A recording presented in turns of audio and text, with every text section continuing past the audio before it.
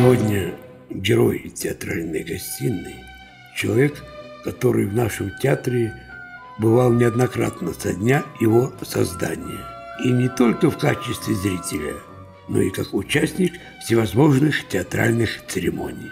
Один из крупнейших театральных режиссеров России, художественный руководитель старейшего российского театра, Александринского театра, народный артист России, лауреат государственных премий, лауреат Российской национальной актерской премии имени Андрея Миронова «Фигаро» Валерий Фочин.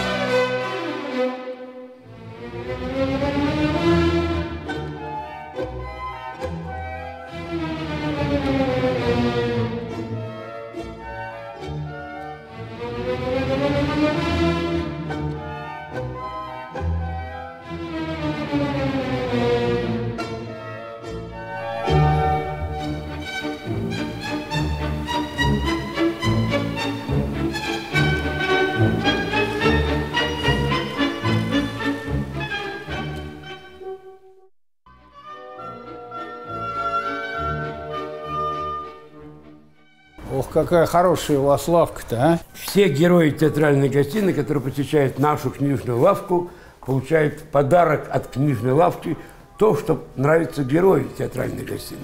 Выбирай, пожалуйста.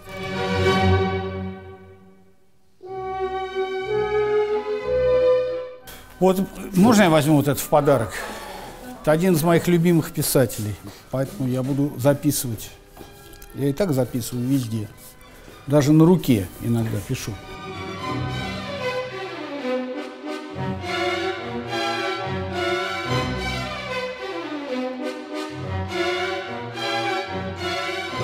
И Валерий Владимирович Фокин помнит, что наш первый спектакль в театре – это «Гоголь.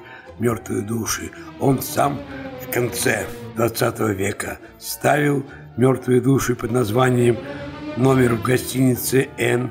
Поэтому мне хотелось показать маски, которые были в нашем спектакле «Мертвые души». Когда приезжал Иннокентий Михайлович Матуновский к нам играть в спектакль и жил у меня дома – Одну маску Плюшкина он даже держал в руках и примерял на свое лицо, поскольку сам играл Плюшкина в фильме Швейцара «Мертвые души». Вот маски Владимир первый спектакль. Три артиста Русскин, Федькин и Дик играли маски всех персонажей «Мертвых душ». Ну, такие тяжелые маски-то, в них, по-моему, тяжело играть, нет? Однажды вот эти артисты, которые играли в «Мертвых душах», встретили Машу Смоктуновскую в масках из «Мертвых душ» у меня дома на квартире, когда она приехала в гости. Гоголь всегда был близок к Валерию Владимировичу. И не только «Мертвые души» номер в гостинице «Н». Это и «Шинель» потрясающий Нееловый. Зачем вы меня обижаете? в роли Акакия Акакича. Это и Невский проспект. Опустите меня, я покушаю. Смешно, я не знаю. Опустите меня! Да не надо, пускай повисит немножко. Чего ты? И это, конечно, ревизор Гоголя и на сцене театра «Современник», и на сцене Александринского театра.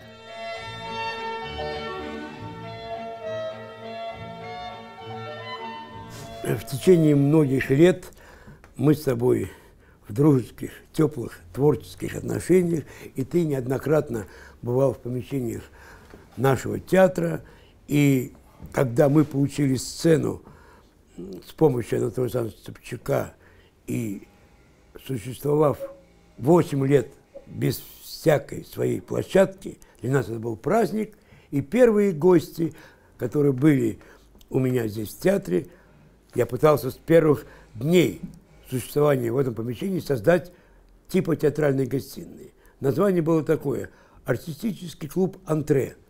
И первыми героями театральной гостиной в эфире 36-го канала были Михаил Ульянов, Валерий Фокин, Евгений Миронов, Ирина Купченко. Вот как это было 23 года назад. Прошу, мой архив. Рио, Рио, де Жанейро, Рио, мама мия, потерпи, я прибуду на днях. Было время, когда не было денег ни у кого. И Костя Райкин, Константин Аркадьевич, мне говорит, когда я заделал очередную поездку по стране, Рудик, Валера Фокин сидит без денег. Давай он поедет с нами в поездку.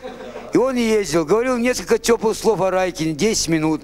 Мы объездили Грузию, да, Валерочка, еще что-то. Скажу несколько слов актерскому клубу театра русской антрепризы имени Андрея Миронова. Вы знаете, я, э, к сожалению, не могу туда выйти, потому что я тут показывал одному... Я не могу, у меня нога сломана. Вы понимаете, о чем я говорю? Действительно было. Ты зачем ты вспоминаешь вообще? А я про тебя сейчас буду вспоминать. А? Ну зачем ты это? Действительно было детство, была юность. Самое замечательное то, что этот город, э, он очень теплый.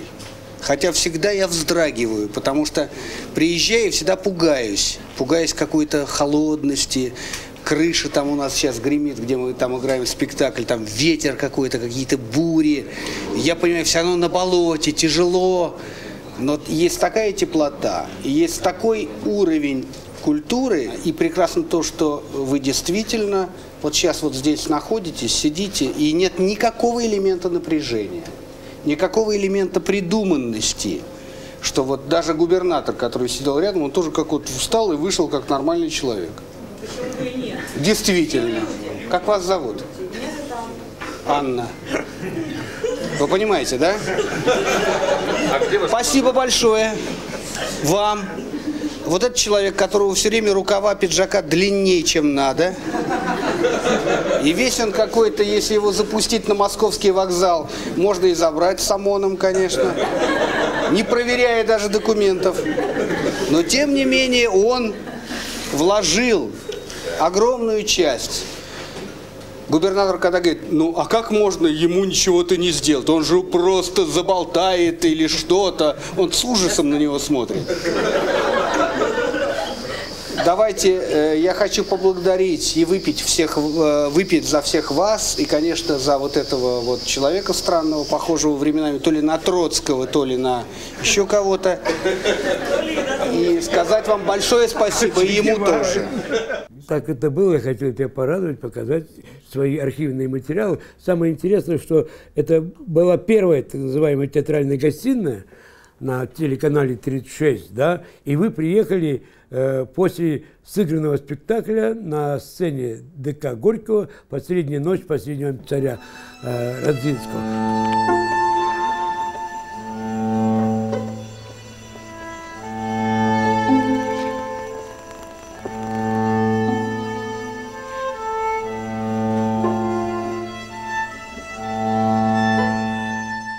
Лет назад в Доме актера и вот я хочу показать, какие люди были. И, и тебе будет приятно, потому что э, там появится еще один актер, который работал в «Современнике» в тот период, когда ты туда пришел.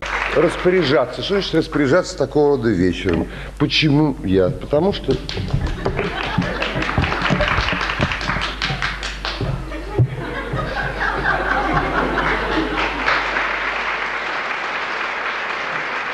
Это была настоящая феерия. Театральные звезды первой величины делились театральными сплетнями, пели, декламировали, пародировали, музицировали и играли сценки из спектаклей. Вот будет такая роль, как это называется, э, Дживола. Ну, в общем, Геббельс. А кто же будет Геббельсом? Вот кто будет Геббельсом? Вот в этом-то все и дело. Пройдитесь такой походкой, как у этого э, э, Шекспира. Пожалуйста, пожалуйста. Ну нельзя так ходить перед простыми людьми. Это неестественно. Что значит неестественно? В нашей жизни ничего неестественного не бывает. А теперь пора открыть, так сказать, секрет Полишинеля. Вы понимаете, что всю эту труппу мог собрать человек, который принимал сейчас вот в отрывке участия. Это Рудольф Давыдович Фурман, которому исполнилось недавно 50 лет. Мог ли я тогда предположить, что пройдет 30 лет и 80-летие будет на сцене Александринского театра? Ну, так никто О, не мог предположить. Фокина, да, вот как. Всякое. Самое интересное, что э, здесь э, было очень ярким выступлением Миши Казакова, который рассказывал, как впервые театр «Современник» приехал на гастроли в Италию, в Неаполь. И вот маленький полминутный э, момент, я тебе хочу показать, э, он очень смешной. Посещать припортовую часть города вечером вам категорически запрещается. И уж не дай бог зайти в портовый кабачок. Туда, товарищи, можно зайти, но не выйти оттуда, товарищи, уже больше никогда. Мы с Ефремовым переглянулись. Итак, сидим в гостиничном ресторанчике Неаполя, уже выпили кьянти, и тут Ефремов на весь зал обращается к Тоне. Тонечка, а где тут расположены эти самые кабаки, где гуляет флот НАТО? Вы что, серьезно, Олег Николаевич? Вполне. Я художник, режиссер, мне надо изучать жизнь. Да и некоторым артистам это тоже необходимо, особенно Казакову. Он часто иностранцев играет. Через некоторое время представитель шестого американского флота НАТО угощал нас джином, виски. Мы курили штатские сигареты. Оркестр заиграл «Очи черные» в нашу честь. Я пел эти «Очи черные» перед микрофоном. Алла подключилась. И мы на маленькой сцене плясали нечто среднее между цыганочкой и русской плясовой. Танцы в кабаке Бродвей-бар прекратились. Вся матросня, все девочки, гарсоны уставились на нас. Еще мы были первыми и наверняка последними советскими людьми, гулявшими на прополую в этом портовом неаполитанском Бродвей-баре с моряками шестого американского флота НАТО. Вот такой архив у меня, понимаешь? Хороший, но это только вот в связи со мной. А так вообще, если это тут можно сидеть сутками, да? Смотреть твой архив. Ну, У тебя я- же огромный архив. У меня с 20 лет. Я еще снимал на камеру кварт с Вадимом Медведевым. И ты помнишь, когда мы были в поездке с тобой и с Вадимом Медведевым, мы тоже что-то снимали. Да. Вот. э, Я хочу показать твое пребывание, а вот э, уже вторая церемония премии «Фигаро». Кинорежиссер Абдрашидов вручает тебе премию «Фигаро». Э, Мне выпала честь поздравить с премией э, Валерия Фокина, с огромным уважением к которому я отношусь. Я очень рад, что такой человек, который сам по себе театр, получает эту премию. Я поздравляю. Поздравляю, очень рад.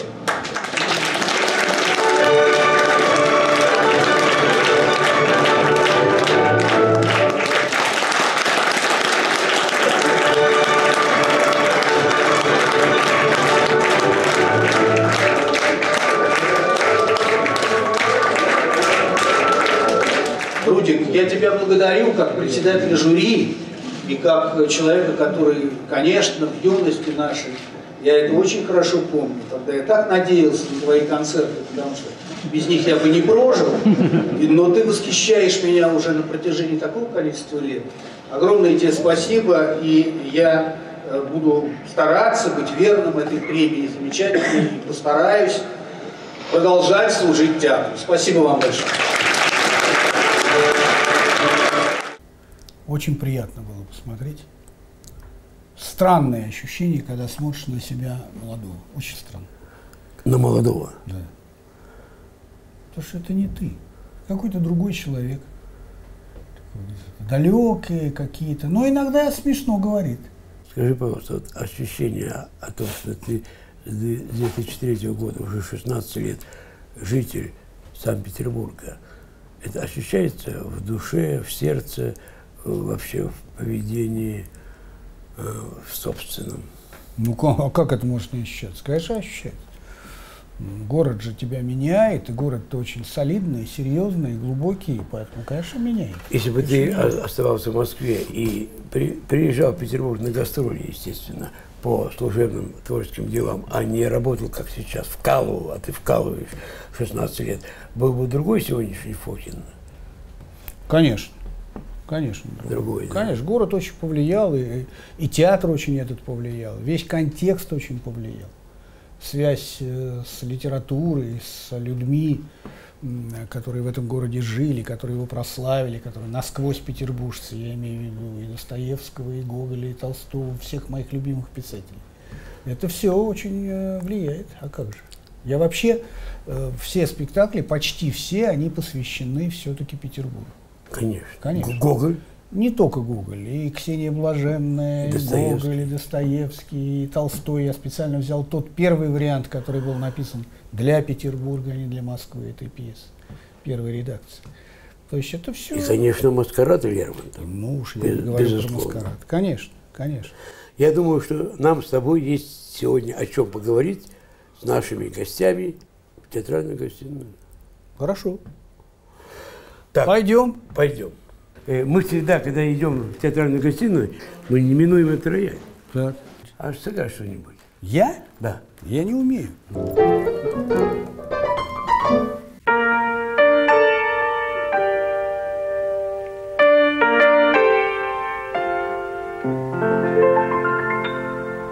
Здравствуйте. Рассаживайтесь поудобнее. Все сели? Можно начинать? Благодарю вас.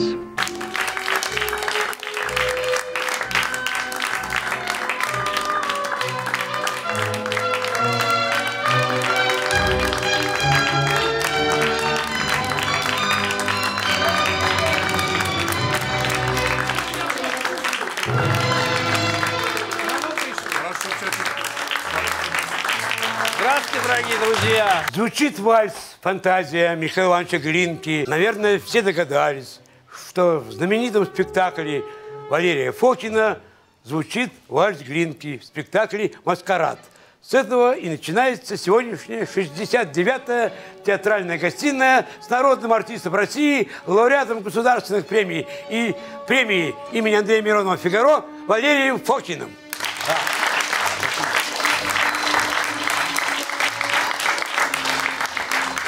Вы знаете, друзья мои дорогие, что мне очень трудно сегодня. Еще бы. Я всегда думал, когда я провожу театральные гостиные с теми людьми, которых знаю много-много лет и связан в творческой жизни с этими людьми, как, например, Басилашвили, Крючкова, Ширвинд, э, Гафт, э, Луновой, то мне будет очень легко.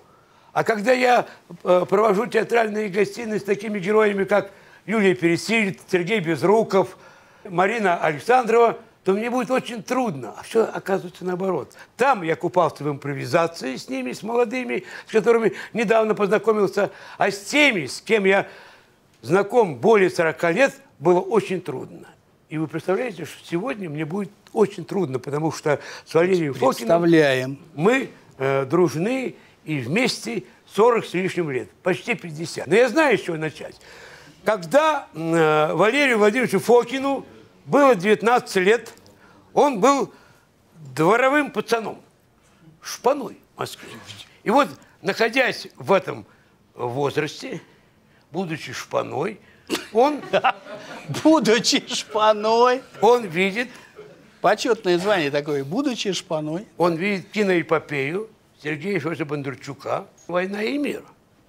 Мог ли тогда юноша в 19, 17, 18 лет, когда первые серии вышли на экран, предполагать, что исполнитель роли Михаила Илларионовича Кутузова будет Борис Евгеньевич Захава, вахтанговский актер, продолжатель дела Вахтангова. И этот человек будет учителем в Щукинском училище. Это был первый в истории училища Щукина, первый курс, который объединял по- по подготовке артистов и режиссеров вместе.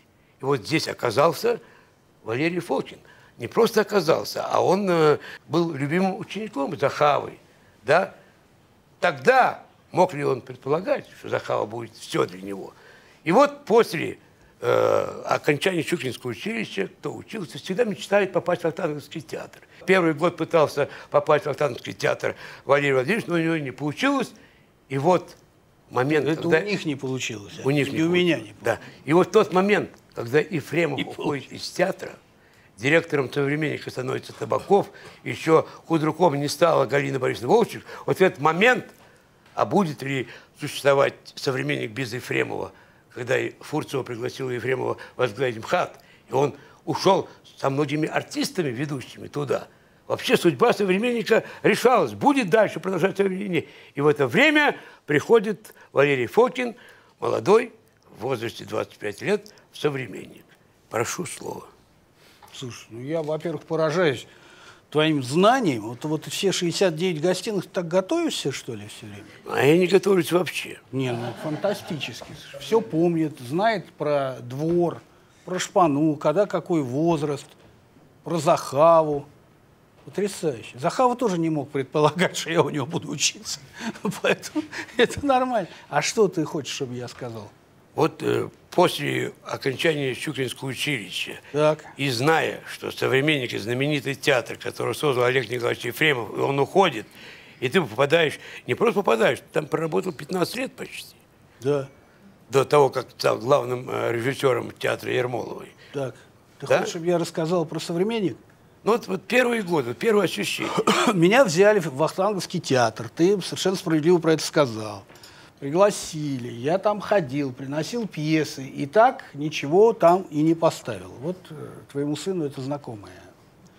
На территории телевидения ему знакомы это, это- эти моменты. Ходил одно, предложаем второе. Нет, говорит, это нельзя. Годы особые, поэтому то-то, то-то, это нельзя. Давайте это, давай, да, да, да, да, да. Сейчас я считаю, что это потрясающе, что я не попал в Вахтанговский театр. Понимаешь? И в результате меня взял современник, э, и замечательно, прекрасно. А, это была совершенно другая территория, просто только надо сказать, что современник и театр Вахтангова тогдашний, так же, как и школа Щукинского училища, сейчас все уже, так сказать, Под одну дудку. примерно одинаково. Ну, н- ну, примерно одинаково. А тогда это была очень резкая граница. Щукинские выпускники, Вахтанговский театр, художественная школа, студия Щепкинс. Это была граница, все гордились друг другом друг перед другом, что вот они ученики этой школы, этой школы. Поэтому вот сам по себе факт того, что несколько человек выпускников Вахтанговской школы взяли в театр «Современник», меня, Костю Райкина, Юру Богатырева, там, Володю Поглазова, это, это было событийно. Потому что пошло руководство театра на то, что взяли других учеников, других людей, другой верой. Но это очень было полезно для меня. Потому что всегда, когда есть соединение одного и другого, это Самое интересное, что я хочу сказать, первый спектакль Валерия Владимировича в «Современнике» молодым артистам э, сегодня, который здесь присутствует, наверное, не только молодым. И интересно знать, что одновременно Рощин написал замечательную пьесу «Современника» Валентина Валентина, да, и э, одновременно Фокин Первая его режиссерская работа в «Современнике», а у нас Сандрот Останогов впервые ставит на сцене БДТ у своего отца. Валентина Валентина, где играет Четверяков и Татьяна Иванова у нас. А э, у Валерия Владимировича играет э, Неелова и Костя Райкин. Кстати, э, второй состав тоже был. А второй состав был из людей, которые здесь были в театральной гостиной. Представляете? Могли мы это предположить. Это э, Катя Маркова, которая была здесь вместе с твоим э, мужем э, Тараторкиным в театральной гостиной. Она играла Валентину. И Валентин э, Володя Иванов, который ныне режиссер э, театра Вахтангова. Ходящий архив. Нет, я вспоминаю, а кто играл соседку Валентины? Соседку играла Маша Шверубович. Маша Шерубович, внучка великого русского актера Василия Качалова, супруга ректора Щепкинского театрального училища Бориса Любимого и мать нынешней сотрудницы Министерства культуры России по кино Ольги Борисовны Любимовой. Интересный поворот. А в 908 году поставили этого самого Леонида Андреева, между прочим. Вы знаете эту пьесу, которую поставили в Александрийском театре? Она провалилась. Знаю дни нашей жизни. А у вас поставили эту пьесу, которая сегодня будет вечером идти, с большим успехом. Да, а в Александрийском театре в 1908 году поставил Евтихий Карпов, любовник Комиссаржевской. Так. Вот так вот, товарищи. Ну, мы просто так тут сидим. Тут, понимаете, кладезь знаний. Я много слышал о репетициях записки из подполья Достоевского, где ты впервые встретился со своим любимым писателем Достоевским, да? И вот Костя Райкин начался у тебя именно записки подполья. Вот мне этот период очень интересен, да и всем, наверное, будет это интересно. Ну, этот период, период, это что там, ну, с Костей мы работали вообще, ну, с первого курса. Он же, же учился со мной вместе, поэтому мы с ним э, работали очень давно. А, ну, это просто период интересен тем, что это другой театр немножко. Я был тогда под воздействием такого великого, под впечатлением гениального театрального Нет. человека Гротовского. И ты же знаешь его. И э, его идеи, э, его театральные устремления, они были, э, ну, я считаю, и сегодня они... Ну, сегодня это классик. Вот если мы говорим сегодня там Станиславский, Мирхольд, там, да, Вахтангов, то, конечно, там и Гротовский. Просто как реформатор, как открыватель вообще театральных систем. Я был очень под его влиянием очень сильным, потому что мне удалось работать в Польше вместе с ним около года, вместе с ним работать и поэтому, конечно, эти идеи вот этого бедного театра, когда все сосредоточено на артисте, когда нет ничего вообще, может быть пустая комната, зрители вот так сидят, как даже еще ближе к вам, к артистам, и одна лампа на, на полу, один рефлектор. Это были опыты, когда артист доходил до такого состояния почти пограничного. То есть, так сказать, настолько это было даже уже правда, но такая совсем особая. Я был очень этим увлечен. И мы делали такие опыты, вот как раз с Костей, потому что Достоевский – это тот автор, который дает возможность. Не каждый автор может дать основания для таких экспериментов. Не каждый. Достоевский как раз давал такие основания, поэтому наши опыты, и они были вот такие. А, скажи, пожалуйста, а вот этот опыт э, Достоевского э, записки из подполья – этот метод использовал в спектакле «Двойник» на сцене Александринского театра, где ты уже стал руководителем этого театра и поставил Достоевского «Двойник». Да нет, ну это использовать невозможно, потому что это абсолютно разные способы работы, большая сцена, другие актеры и вообще все другое. Ужас. Это, это я сам, но совершенно другой. Галяткин. Двойник во всех отношениях. Единственная польза э, от Гротовского было очень много пользы для меня. Во-первых, в методике. Он приучил меня иногда, сейчас я это не часто делаю, к сожалению, но очень любил э, работать этюдным способом. Этюдным способом не вообще просто этюды, а некие этюды, которые распахивают артиста и как бы готовят его к будущей роли, которые не репетируются. Мы сделали этот этюд, он мог продолжаться там час, Иногда мы делали этюды, они шли по часу просто, так сказать. Это, и артисты потом, самое интересное, не замечали. Когда начинаешь спрашивать и говорить, ну ты помнишь, сколько у тебя было? Говорит, ну что, минут 5-10. Что ты остановил-то? А он час работал. То есть это настолько погружение, но это распашка вот это внутреннего организма, оно потом давало возможность перейти уже в роль, когда уже появлялся текст автора. Но человек был распахан. Конечно, это были этюды, направленные на вот это движение роли и на ту перспективу, которая потом будет. И это, конечно, огромная вещь, очень полезная, но сейчас так уже я не работаю просто и в силу отсутствия времени часто. Ну и немножко все поменялось. Но, но то, что вот этот метод работы таким бедным театром, грубо говоря, он влиял и на то, что я делал на большой сцене, современники в том, другом, угу. ну, конечно, влиял. Одно всегда влияет на другое. Валерий, ты сейчас очень хорошо сказал, что этюды распахивают артиста. Вот этюды Кости Райкина его распахивали. Он со своими этюдами, показывая животных, поступал в Чукинское училище, как ты знаешь.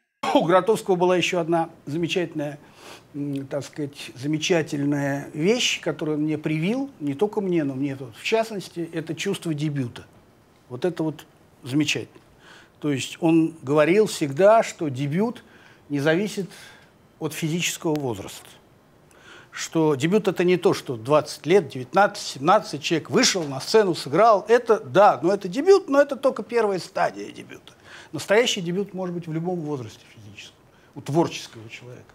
Потому что дебют – это желание, попытка изменить себя и попробовать что-то другое. Вот это дебют. И пока есть чувство дебюта на протяжении жизни э, у творческого человека, он живой. Он независимо от того, победил он, не победил, был успех, это уже вторые категории. Но он дебютирует. Вот это чувство он привил и прививал это. Ну, вам это свой, вы же с ним беседовали же неоднократно. Я с ним не беседовал, но я очень хорошо знаю моменты репетиционные э, Фокина э, Гротовским. Ты был не только влюблен, потрясен до, того, до такой степени. Мы с тобой когда-то э, в начале э, 70-х годов об этом говорили, находясь в Тбилиси на гастролях, о том, что ты даже мог уйти из современника из-за него. Ну, я просто не, не то, что из-за него, но просто, конечно, мне было очень сложно соединить тот театр, которым я занимался да. ночью с группой артистов, с тем официальным театром, которым я должен был заниматься днем. Это было почти неразрешимая проблема, меня было это сложно. Но он мне замечательно сказал, я с ним беседовал на эту тему, и он мне сказал, что ни в коем случае этого делать нельзя. Что я совершу очень большую ошибку, и он мне всячески рекомендует, ни в коем случае этого делать нельзя. Потому что таких условий для работы, как есть у тебя, сказал он мне в этом театре, у тебя не будет. То, что тебе разрешают делать работы, неважно, ночью, утром, но другие неофициальные работы, и так работать, эксперимент, тебе не больше никто не даст. Ты должен это ценить и твои работы экспериментальные, они все равно повлияют на то, что ты делаешь на большой сцене. Mm. Обязательно повлияет. Так оно и произошло. Mm. И благодаря этому я не ушел. У меня тогда вопрос. Он имел в виду, тебе дают, э, сказал Ежи Гротовский. А кто? Галина Борисовна или Олег Павлович? Ну, будущий это, директор. Ну, это, так сказать, одинаково было в то время. И Олег Павлович и Галина Борисовна, они вместе работали. Она худрук, она главный режиссер, он директор. Но это театр руководство театра. театра. Это у меня такой вопрос. После того, как записки подполья с Костей Райкиным, э, я видел это, я это видел. Меня Костя приводил, и, по-моему, даже до поездки с тобой там и познакомились. Но следующая работа твоя, вот мне интересно, когда ушел Ефремов, э, Табаков, Галина Борисовна еще, Галя не была худруком, пришли Фокин и Рахельгаус. И Рахельгаус э, ставит Симонова э, из записок Лопатина, где Гафт играет Лопатина. А Костя Райкин у Рафигауса играет Гурского и является партнером Валентина Гафта. Это 1975 год.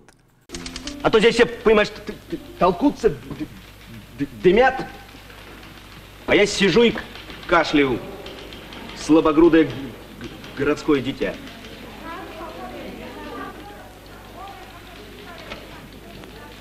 Посиди. Вот сейчас допишу абзац, сокрушу Третий Рейх, поговорим. Через несколько лет э, Валерий Фокин с Костей Райкиным в роли того же Гурского ставит по запискам Лопатина «Мы не увидимся с тобой», да? Извини. Нет, это уж ты меня извини. Слушай, оказывается, я просто пошляк. Я попредавался словесному блуду вместо того, чтобы молча с тобой выпить. Сейчас. Ах ты. Ну ладно. Но я накажу себя за это и привезу ее обратно нетронутой. Ну да, конечно. Ну, постараюсь. И вот мне интересно, когда Достоевский, да, записки подполья э, Костя Райкин, и Костя Райкин уже в наше военное время, во время войны, вот и твоя режиссура, и твой взгляд от Достоевского до Симонова. Тоже артист. Мне это очень интересно. И главное, что до этого появления был спектакль еще у Рахельгауса на сцене того же современника с Гафтом. Вот какое самочувствие режиссера было, когда он взял, взял за этот материал?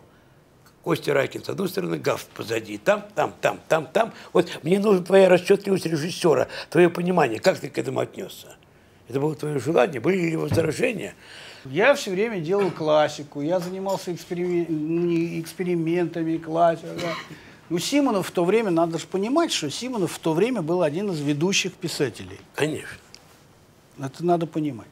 Симонов э, была настолько сильная фигура, ну вот для, для детей, для молодежи, я не знаю, с чем сравнить, они, может, слышали, конечно, о нем как о поэте, да, о знаменитом военном стихотворении, да, «Возьми меня, и я вернусь», но, но это был очень крупный писатель, и это был писатель, который, эм, который мне помог и защитил один мой спектакль, который не хотели выпускать.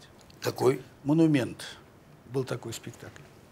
Это был спектакль, который, э, мне кажется, он, ну, он был очень популярный, потом остро его разрешили, но он э, одел звезду героя, пришел в ЦК партии вместе со мной, я там, значит, защищал этот спектакль, кричал, что я отвечаю как молодой коммунист туда-сюда, но на меня смотрели и понимали, что я что-то, как смотрели, очень так брезгливо и, как бы, так сказать, не веря ни одному моему слову. Спектакль должен был быть закрыт. И когда пришел Симонов, конечно, другое совершенно отношение, и он защитил, он произнес такую речь там туда-сюда. Э, И после э, его выступления, а мы были с ним вполне дружны, он мне говорит, вы не, э, не почитайте мою повесть. Я понял, что мне надо почитать повесть. Обязательно. Я ее почитал. А потом, потом все-таки, ну, интересно было попробовать какую-то другую прозу, прозу Симонова. Вот это вот то, что ставил Рахельгаус, который пришел позже меня гораздо в театр. Это совершенно гафт, это не играл роли. Это совершенно другой материал, другие артисты. Там играл Глузский, кстати, замечательный артист Михаил Глузский. Я к этому относился совершенно спокойно. Никаких отягощений у меня, кроме только желания того, чтобы сделать это, и чтобы это получилось, не было. Скажи, вот, а в «Монументе» кто играл? «Монументе» опять же играл Райкин, играл Герт. Это была первая после большого очень перерыва его роль на драматической сцене. А Вот. Играли Сережа Сазонтьев. Там Вот э, у тебя увлечение, увлечение искусством Мирхольда началось, наверное, не случайно, потому что и твой педагог Захава, кстати, в 23-м, 24 25 годах работал на сценах Мирхольда, по-моему. Да и когда ты попал в семью, э, я называю, ты меня сегодня спросил, почему дядя Зяма, он, Рудик, э, называй меня Зяма. Я говорю, не могу называть, это дядя Зяма. Когда ты попал э, в семью э, Герта, э, который наслаждался искусством э, Мирхольда. Он в то время учился в Арбузовской студии с Плучиком. Они ходили, бегали на спектакль Мирхольда. Вот это повлияло, Захава, Герт, на то, что ты стал особенно относиться э, к Мирхольду. И в результате, соз- э, когда тебя назначили главным режиссером театра Ермоловой, ты начал Мирхольда. Начал. И Ну, театр Ермолова это и был театр Мейерхольда. Да, До- да, до- я поэтому и говорю, да. В этом здании работал театр Мейерхольда. Нет, ну вообще э, любые, любые, так сказать, вот такие разные влияния, я считаю, они всегда очень полезны. И они дают какую-то неожиданную прививку и неожиданный эффект.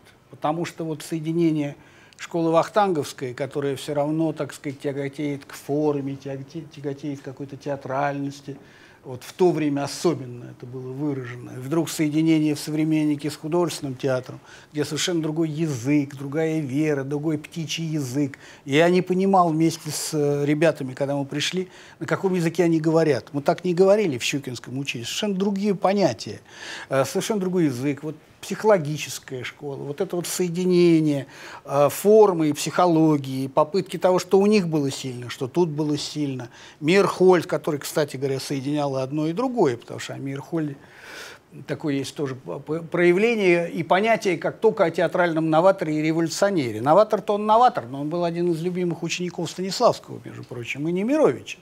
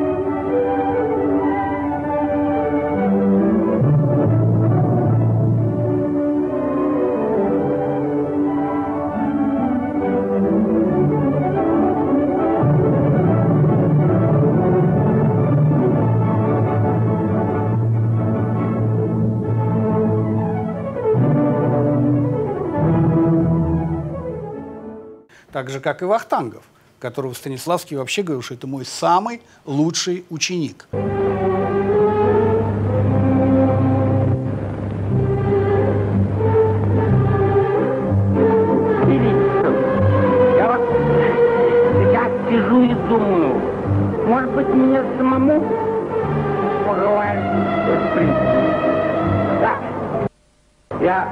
Я думаю, так и сделать.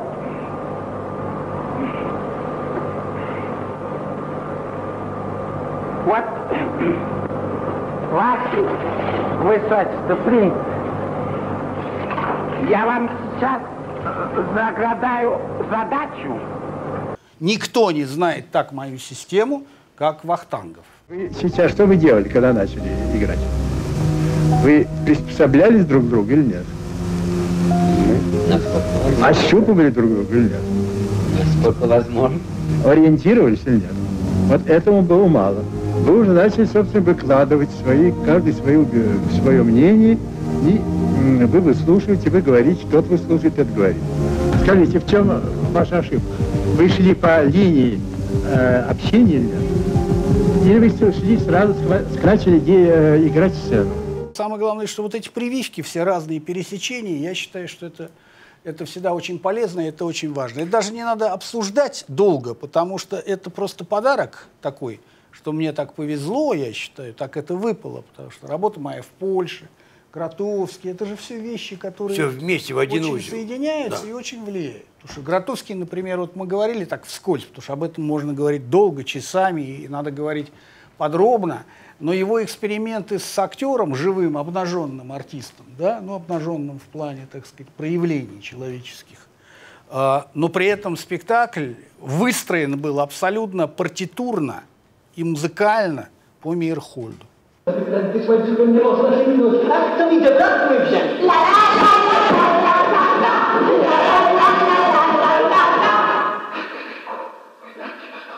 Вот это вот удивительная вещь. Не вообще, так сказать, отпущен актер, да, и все. А отпущен-то отпущен.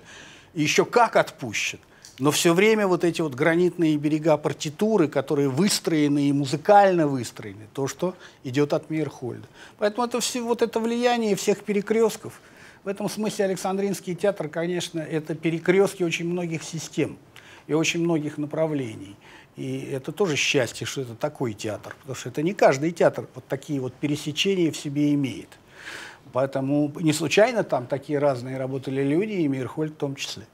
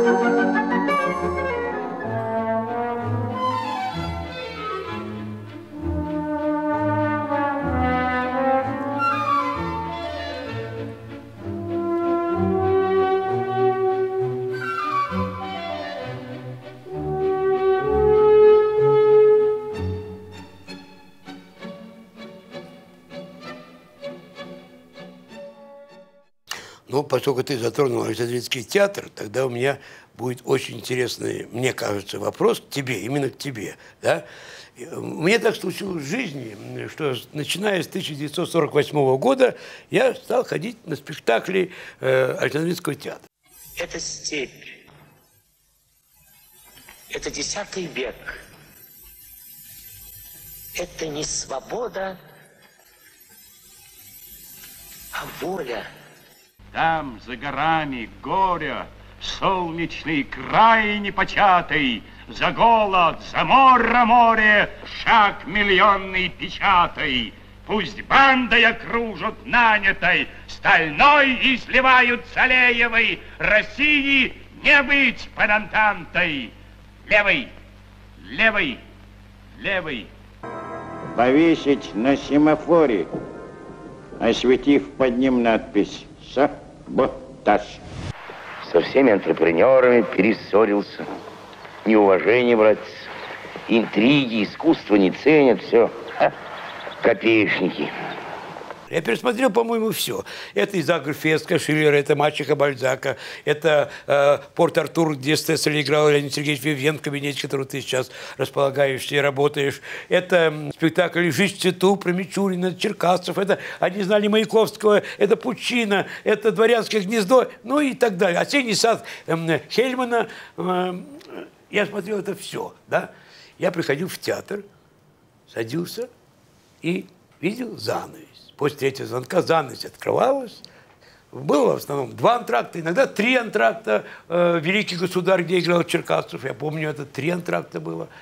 И во время антракта менялись декорации. Все, менялось, все так.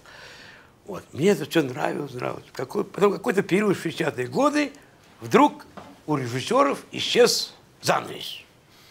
Исчез занавес, и декорации не менялись. Появляется новый театр, да, я видел это. Хорошо, плохо, я не знаю. Но я помню тогда рассказ Михаила Жванецкого. А что если э, артистов посадить в зал, а зрителей на сцену? Это был такой шуточный рассказ, нам с Андрюшей Мироновым очень нравилось. Мы даже где-то его хотели выучить и вдвоем даже э, в концертах исполнять. Но это оказалось на самом деле. В театре Капитаржевской, мне не даст соврать, Нелли Попов был спектакль постановки «Пази», небезызвестного тебе э, покойного режиссера. Э, а? Самоубийство. Самоубийство, да, где я сидел на сцене как зритель, а артисты в зале. Кроме того, сейчас мой любимый театральный режиссер, мой друг, с которым я много лет знаком, Валерий Валерьевич Фокин, я сидел у него на сцене и смотрел «Три сестры желтока» в зале артиста, да? И, а кроме того, когда у тебя работал в театре «Могучий», Иваны э, шли тоже на сцене. Да, что говорить-то? Я увидел у тебя «Последняя ночь последнего царя» на сцене ДК Горького. Вот мне интересно вот этот переход от того театра, занавес, декорации менялись, вот к тому, что я сейчас сказал. Мне твоя точка зрения. Я, я не осуждаю, мне это нравится все. Вот как этот переход произошел? Каким образом? Да это, ничего тут нет удивительного. Театр развивается, как и, э, развивается вместе с э, жизнью, со всеми хорошими и плохими проявлениями историческими, политическими, общественными, с которыми мы производим. Идет жизнь, жизнь меняется. Театр пробует новые формы. Кстати говоря, ничего нового нету. Потому что э, раньше, если вы знаете, в старинном итальянском театре, в испанском старинном театре, который, кстати говоря, Мейерхольд очень хорошо знал, горел всегда свет, потому что электричества не было, горели всегда свечи. И при Мольере горели свечи в зрительном зале. Поэтому зал был всегда полуосвещен, наполовину освещен, всегда. Ну, не было вот этого. Вырубили, темнота, ничего этого не было. И когда Мирхольд в две- в 1908, по-моему, году, нет, в 1908 Андреева поставили, да? В 12 году. Я помню все. Значит, И я помню. был поставлен Дон Жуан, то Мирхольд включил свет в зрительном зале. В Александринке. В Александринке. Это было просто, просто все были поражены. Как это так? Вдруг включил свет во время спектакля, несколько раз там выходил Варламов, там выходил зрительный зал, включил. Что это такое? Потом, значит, опять это куда-то ушло. Потом Любимов на Таганке, я помню, в момент моей театральной молодости, все время включал свет. Это, это все старые приемы, они никуда, они просто повторяются. Важно в том, что приемы э, должны работать в контексте со временем. Если они сейчас нужны для решения этой пьесы, этого спектакля, этих задач сегодняшних, их можно использовать. Ничего в этом нету. Поэтому и на сцене сидели. Ну почему, почему зрители сидят на сцене? Потому что иногда хочется собрать, сделать камерную обстановку. Или еще. Пошло-то ведь от этого. Мирхольд взял, и когда началась э, гражданская война, ну уже не гражданская война, а 18-й год, ну война уже шла гражданская, и не было денег, ничего не было, вот опять я опять смотрю на твоего сына, как на Первом канале сейчас. И не было денег, делать нечего, что делать? Ипсона ставить надо, что делать? Нору Ипсона, денег нет, что? Он говорит, значит так, никаких декораций вообще не будет. Открываем занавес, убираем никаких декораций. Вот все, что стоит вот на сцене, вот все эти декорации старые, пускай так и стоят в углу, там, там, все. Только напишите на передних дверях, напишите Нора. Просто краской Нора. И там тоже Нора. И все. И так они играли. Все говорят, «А, новое слово, открыл стенку. Кирпичная стена театра была открыта, никаких тряпок, никаких занавесок.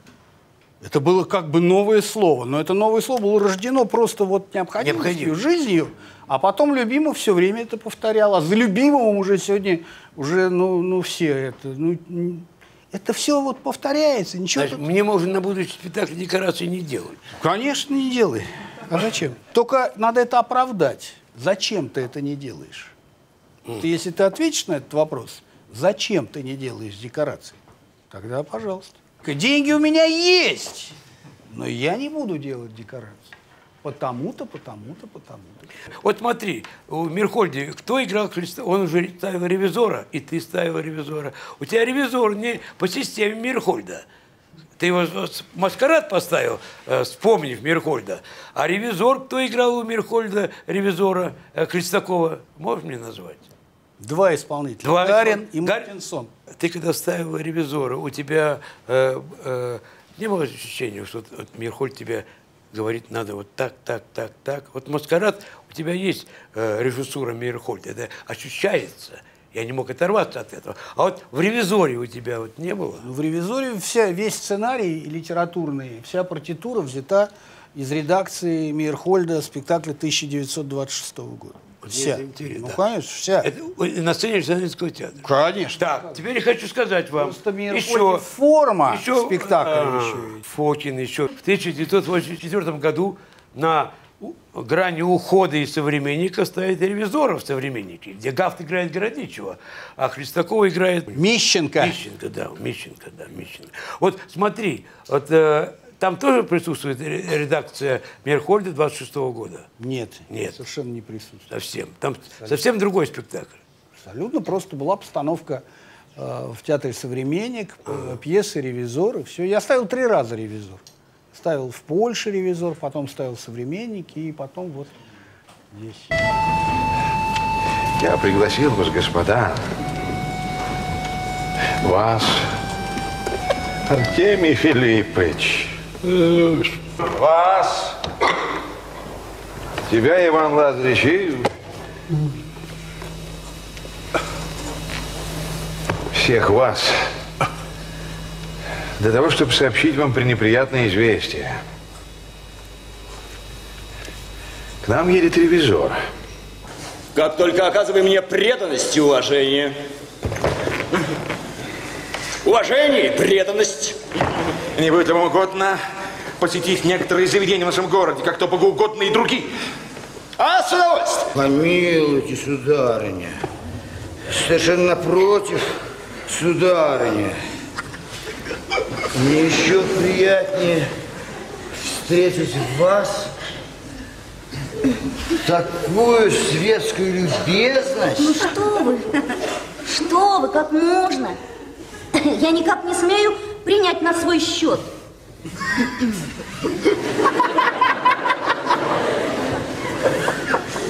Я думаю, после столицы воюжировка должна, наверное, была показаться вам не очень приятной. Чрезвычайно неприятно. Черт возьми, господа, признаться, но я очень хочу быть генералом.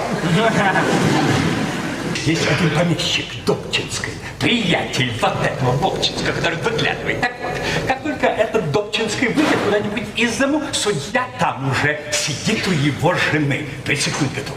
И нарочно посмотрите на детей. Ни одно из них не похоже на Добчинского. Даже девочка маленькая, как вылитый судья. Хлопов, Лукич, смотритель училищ. Я не знаю, как начальство могло поверить ему такую должность. Он хуже, чем якобинец. И такие внушают юношеству неблагонамеренные правила, что даже выразить трудно.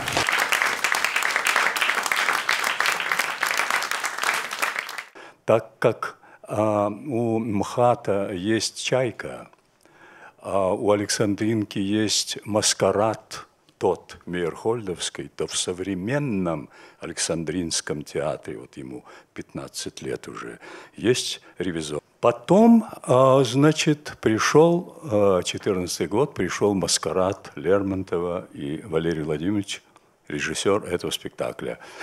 Он мне сказал о том, что я буду играть неизвестного. Я слушаю. Семь лет тому назад ты узнавал меня, Арбенин. Я был молод, неопытен и пылок, и богат. Но ты, в твоей груди уж крылся этот холод, то адское презрение ко всему, которым ты гордился всюду. Не знаю, приписать его к уму или к обстоятельствам я разбирать не буду твоей души. Ее поймет лишь Бог, который сотворить один такую мог. Дебют хорош. Конец не будет хуже. Раз ты меня уговорил, увлек к себе. Мой кошелек был полон, и к тому же я верил счастью, сел играть с тобой и проиграл. Отец мой был скупой и строгий человек, и чтобы не подвергаться упрекам, я решился отыграться, но ты хоть молод, ты меня держал в когтях, и я все снова проиграл. И начались репетиции. Репетиции э, он ведет совершенно э, удивительно. Все равно я приду к комплиментам, никуда мне не деться от этого. Э, по, глубоч, как бы по глубочайшему разбору характера, всей истории этой, этой трагедии. И э, рождается спектакль. С моей точки зрения, очень интересный спектакль, и многие его видели. Ты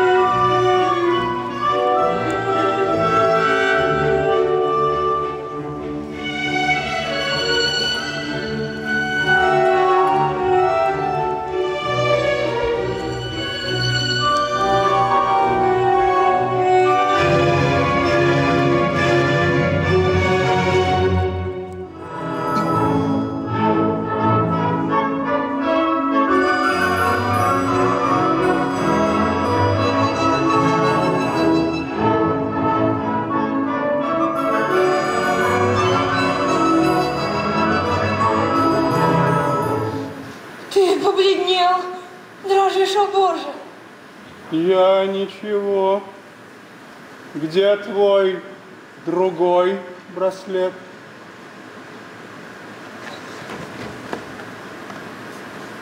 Потерян. Потерян. Что же?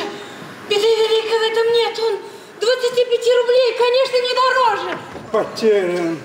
Отчего я этим так смущен? Какое странное мне шепчет подозрение. Ужель то было только сон, а это пробуждение? Тебя понять я право не могу. Браслет потерян? Нет, я лгу.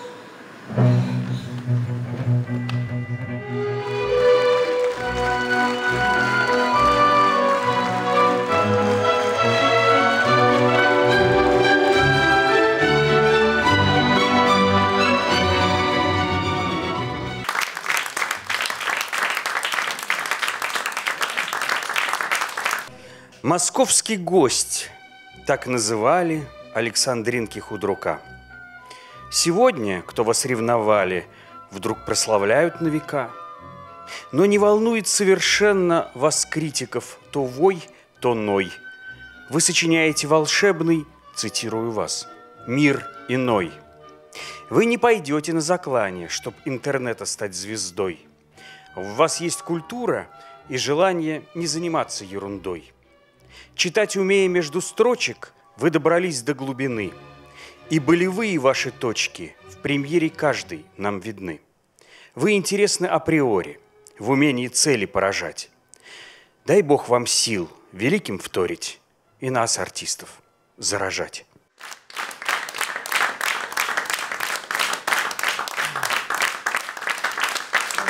Да, да, сейчас, сейчас. Дай, дай, дай, дай руку. Ну, сейчас.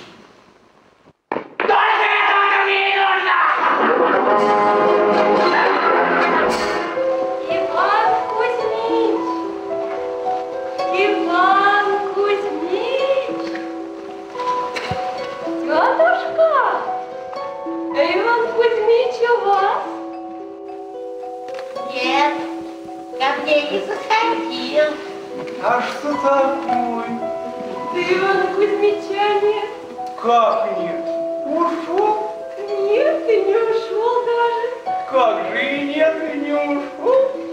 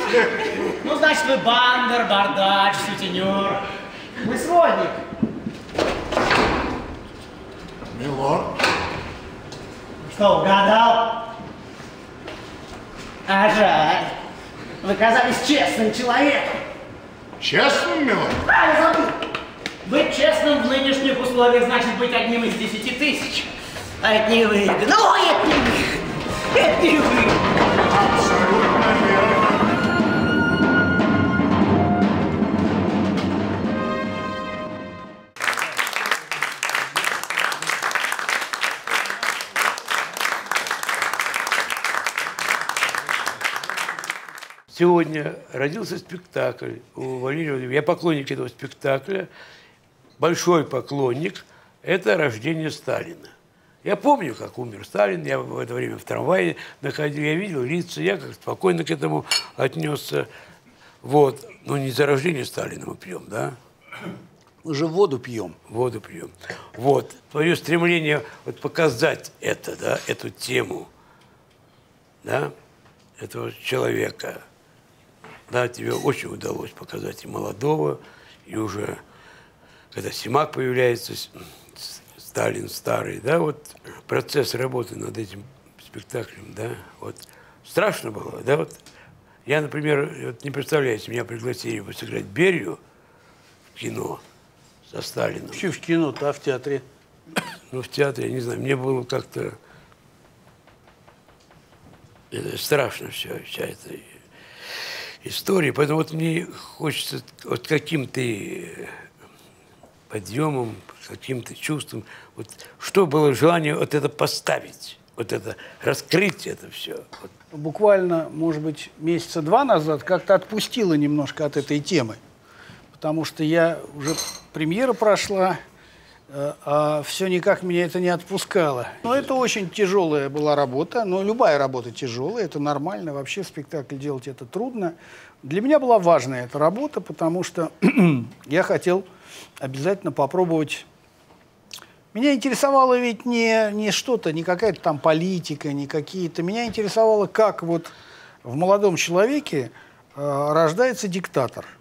Это все. Вот где вот это психологическое, как этот механизм с какого-то момента вдруг срабатывает в сторону того, что я могу все. Я решаю. Я на первом месте. Я. Вот это вот я. Как рождается вот это я. Вот меня что интересовало. Потому что и как? Еще второй вопрос. Как окружение работает на это я? Это тоже вопрос. Потому что вот эти молодые люди, которые его, его эти, так сказать, ребята вокруг, они, конечно, его тоже делали. Но, как всегда, мы делаем, ведь мы же делаем кумиров. Он их делал, и они, кто-то из страха, кто-то из желания быть ближе, кто-то из веры пополам с этим, с тем, как они тоже его поднимают. И поэтому, конечно, вот это было для меня очень важно, а не то, что вот сейчас, вот, понимаете, общество у нас очень расколото сейчас по поводу этой фигуры, очень э, сильно расколото. Но меня интересовала больше вот эта фигура именно с той точки зрения, что не просто вот показать, ну, чу- он, конечно, чудовище. Это абсолютно понятно. Я бы даже сказал так, что среди списка вот таких исторических чудовищ, да, их было достаточное количество в истории вот этих чудовищ, великих при этом, полководцев, диктаторов, там, Первое, этих. первое место. Да, ну не знаю, первый или не первый, но он, но он занимает уникальное место. Он занимает уникальное, потому что он был очень способный человек. И это для меня было тоже, потому что мы же привыкли, у нас же клише тоже. Ну, конечно, убил столько людей, чудовище, вообще убийца. Но я считаю, что вот взять и зачеркнуть, и сказать так, вот это так, и больше мы его не хотим слышать, знать, читать, знать, разбираться, это неправильно. Потому что мы должны, но мы русские, нам очень сложно выработать какой-то более-менее ровный взгляд вообще на историю. У нас это в генетике, в нашей природе этого нет. Французам легче. Ну и французы же. Французы, они, они легче к этому относятся. У них там, который тоже море крови пролил и столько людей убил Наполеон, лежит в центре Парижа, все его почитают. Великий император, национальный герой. Стоят бюсты Робеспьеру там, всем, понимаешь, Д'Антону. Море крови. Не меньше, чем при Сталине, между прочим. Головы летели просто, гильотины работали просто день, денно и ночно. Мы так не можем. И в этом наша сила, и в этом наша слабость. Мы обязательно должны, это должно у нас там пройти через такие жернова внутренние. Мы не можем так легко взять и выработать. Вот он вот такой-такой, это очень сложно, такой взгляд выработать. Вот на могиле Хрущева стоит Эрнстом неизвестным сделано надгробие, да, его голова черно-белая. Половина черная, половина белая. Вот.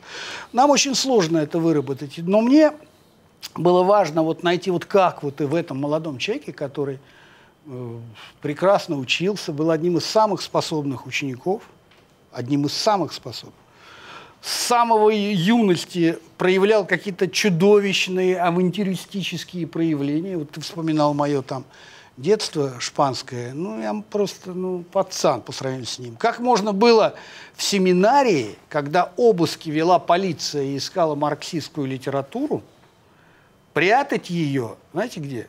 В подушке ректора. Это фантастика. Вот они пере, переворачивают все кельи, ищут везде. Ну, в подушке ректора. Ну, как может прийти в голову, прийти в спальню ректора, и там, значит, в подушке лежит капитал Маркса.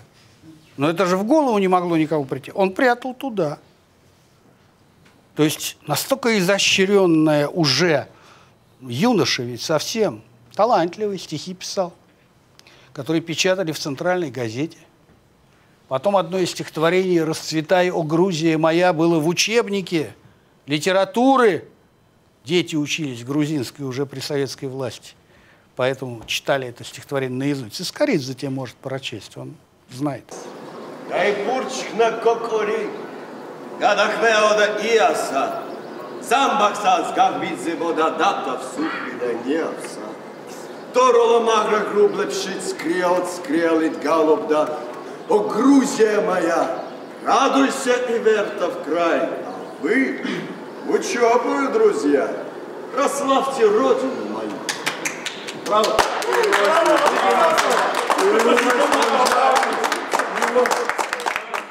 Но с какого-то момента, когда этот человек из искренних, казалось бы, из искренних побуждений приходит к тому, что он наместник Бога. Он все может решить. Это арбенинская тема, кстати, во многом. Да, я. И, и, и, и все, и дальше уже все. А дальше уже все понятно. Вот механизм рождения. Как умирает человек, почему назван рождение Сталина? Как умирает человек Джугашвили и как рождается Сталин. Вот для меня было вот этого интересно. Существует такая сказка. Писатель Гоголь написал, что однажды зимой в рождественскую ночь черт месяц украл и спрятал его в карман. И вот мне пришло в голову,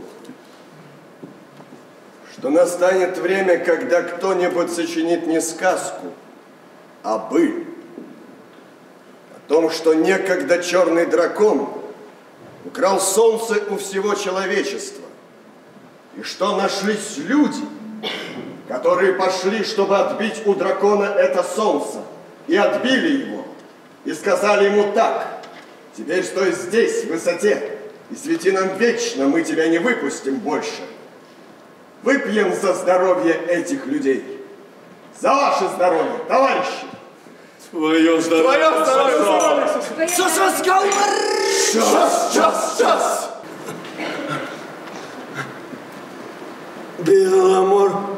час. Что за название? Хорошее название и отличное место. Не знаю. Узнаешь через 30 лет. Узнаешь.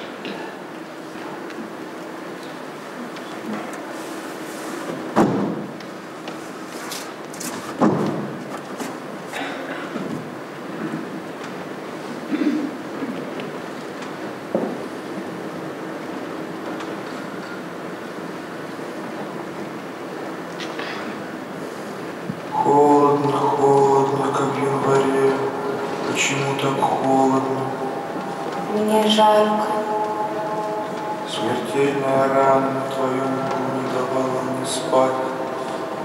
Боба приказал, разве ты мог ослушаться? Не мог.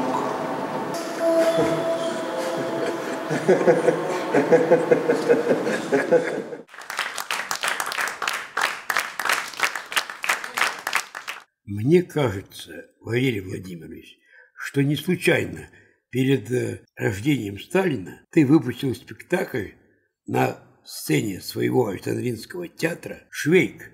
Возвращение». Ведь два года назад по приглашению Галины Борисовны Волчек ты начал репетировать Швейка на сцене «Современника», оторвавшись от Александринской сцены. Ты месяц репетировал, и душа твоя, сердце вернулись на свою родную Александринскую сцену. И ты стал репетировать «Швейк возвращения». И если мы посмотрим сегодня фрагменты из этого спектакля, мы поймем, что именно после этого спектакля возникло рождение Сталина. Какая-то связь есть.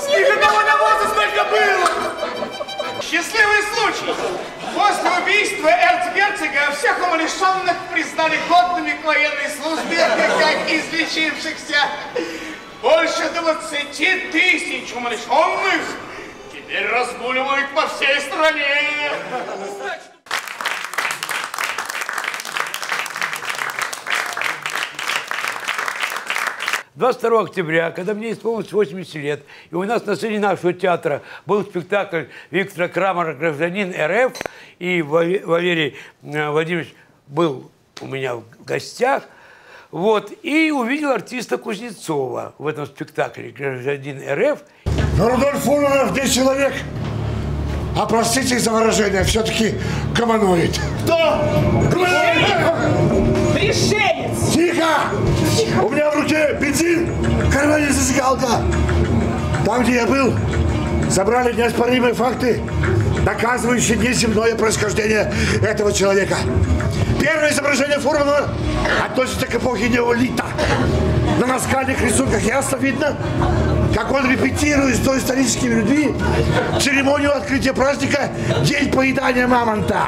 И с 1 э, марта или с 1 апреля э, артист Кузнецов из театра комедии переходит э, в штат Александринского театра. Не только переходит, а успевает сыграть Полония в спектакле э, Фокина «Гамлет», который шел когда-то, когда-то Борис э, э, Бруно Артурович Френдрих играл Гамлета. Я помню то время. А Полония играл Юрий Владимирович Толубеев.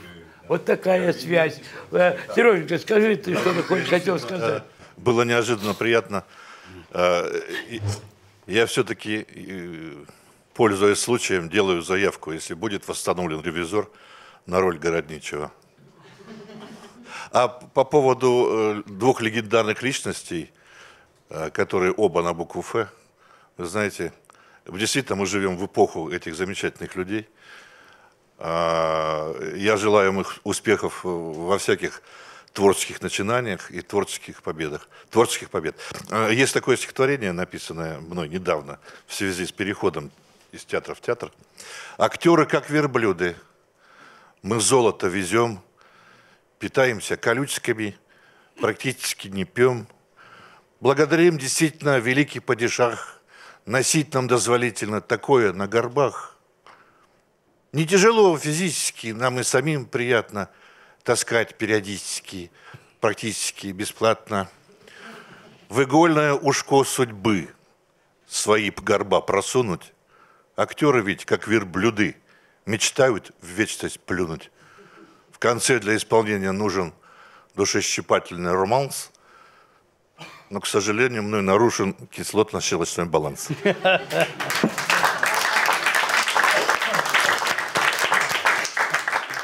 Я вспоминаю, э, когда э, разделялся МХАТ на Ефремова и на Доронину, да, что-то я не слышал дыхания общественности, СТД и так далее. Люди сами решили, договорились разделиться.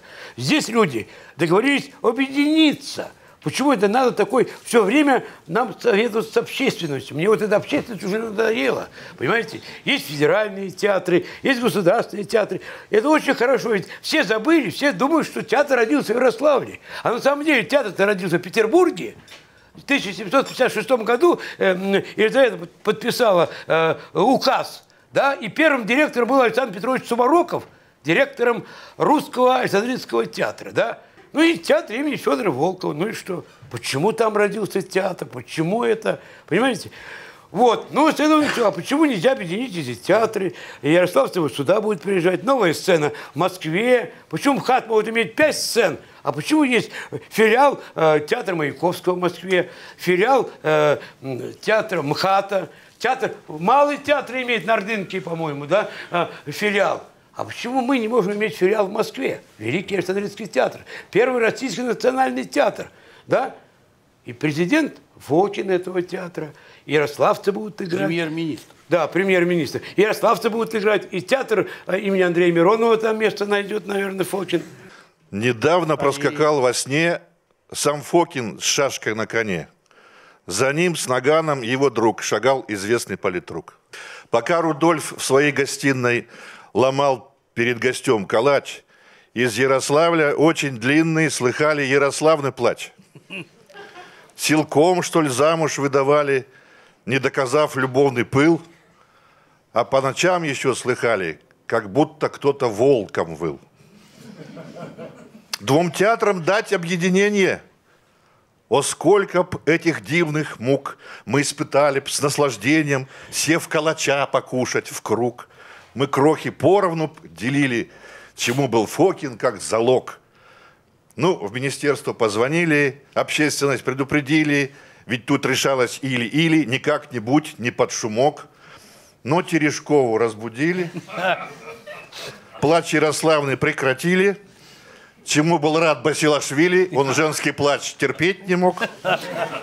Саму идею отложили, свой статус театры сохранили, в один их не объединили, чему был Фокин как залог. Он лучше выдумать не мог.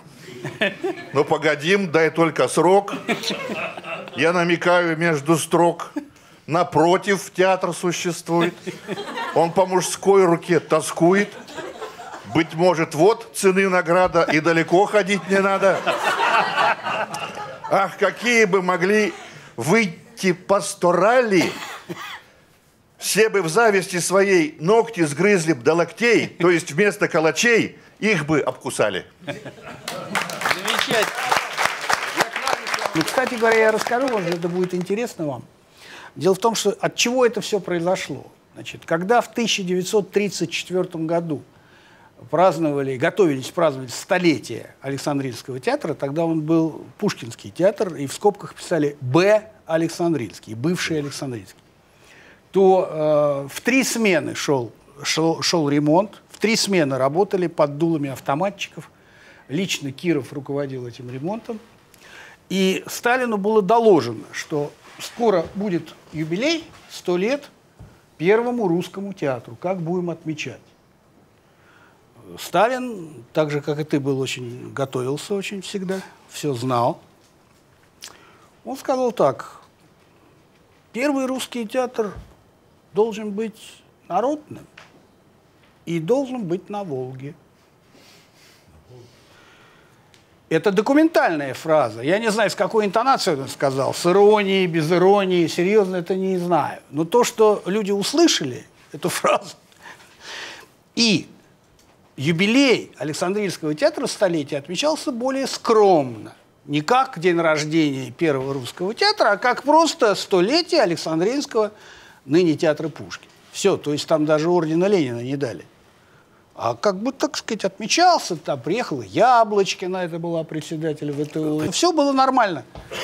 Но фразу эту запомнили, и потом в советское уже время некоторые товарищи, вспомнив это, решили, так сказать, сделать первым театром, значит, на Волге театр Волкова. Значит, вот он первый. Ну, конечно, это абсолютная, абсолютный казус, абсолютная чепуха, потому что тогда вообще было очень много любительских театров в России и в том числе и в Ярославле, из которых там потом вырастали, но первый театр, закрепленный указом, государственный, первый, конечно, это Александринский театр.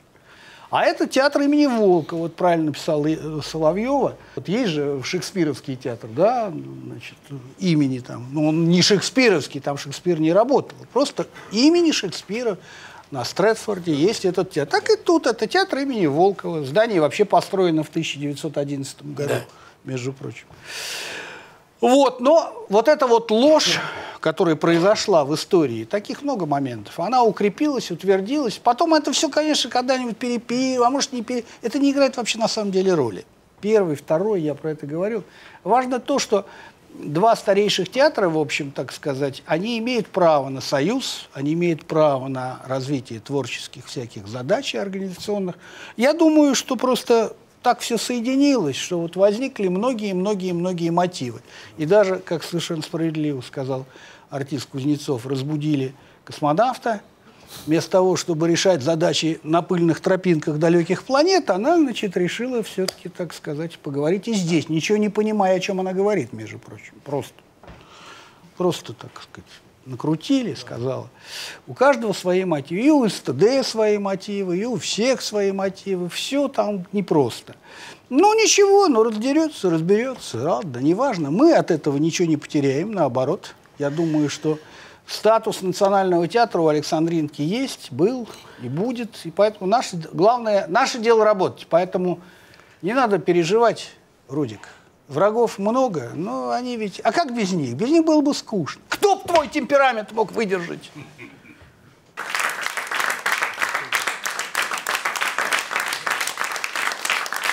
Я хочу все-таки вернуться к интереснейшей режиссуре э, Валерия Владимировича Фокина в «Современнике», потому что я видел много, да, и один из моих любимых спектаклей Валерия Владимировича – это «Кто боится Вирджинию где играет э, Галина Борисовна и Валентин Иосифович.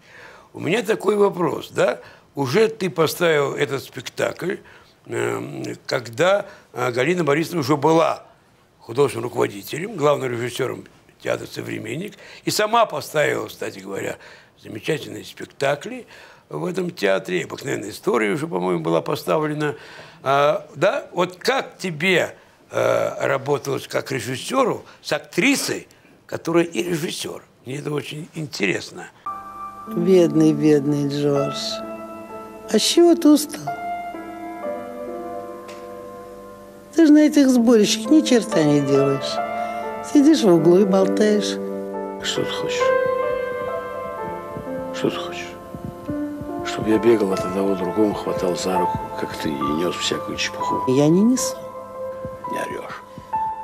Я не несу. Что ты несешь? Я не несу. Дай мне выпить. Еще?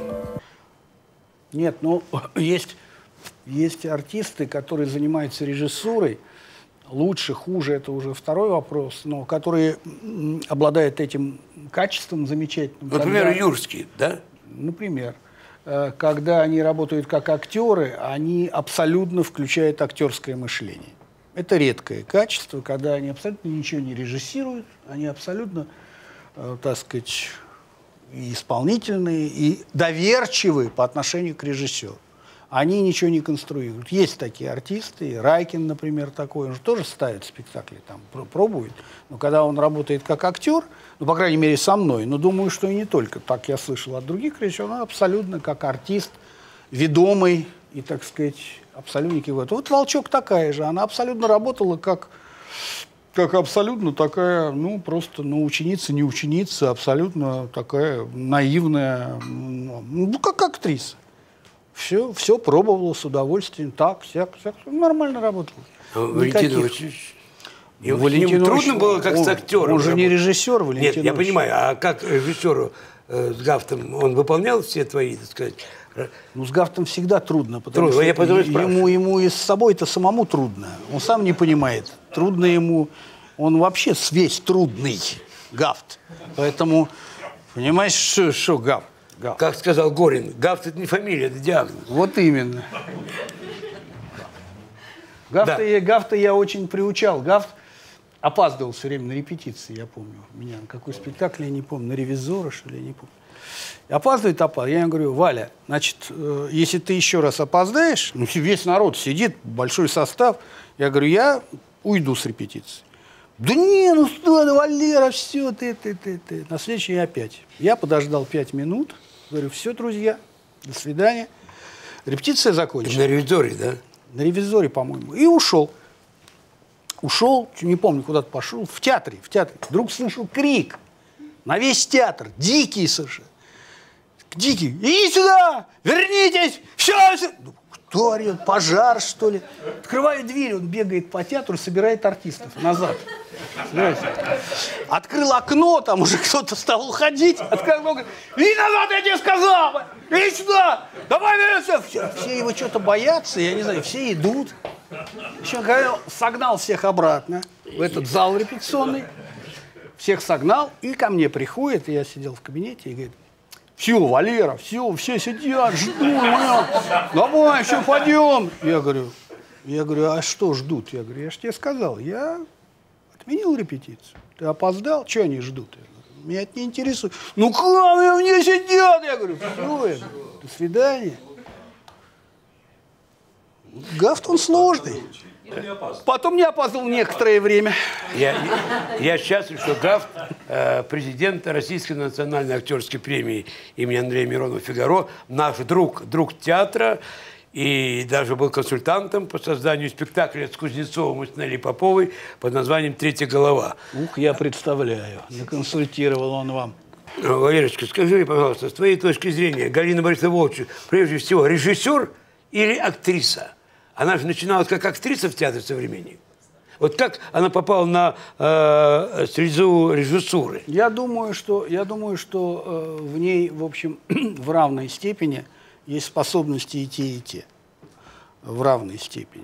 Она может ставить спектакли, она это доказала, потому что не каждый далеко артист имеет право м, называться режиссером, даже если он и ставит спектакли. Это особая профессия, особенное, особое мышление, природа мышления другая. Но Волчок это может. Она может, потому что у нее были спектакли такие настоящие. Она очень актерский режиссер. Она блистательно работала э, с артистами. Я вообще считаю, что вот жалко очень, что она не занималась педагогикой. Потому что она могла бы быть э, блистательным педагогом. Она настолько тонко разбирала роли и умела так работать с актерами.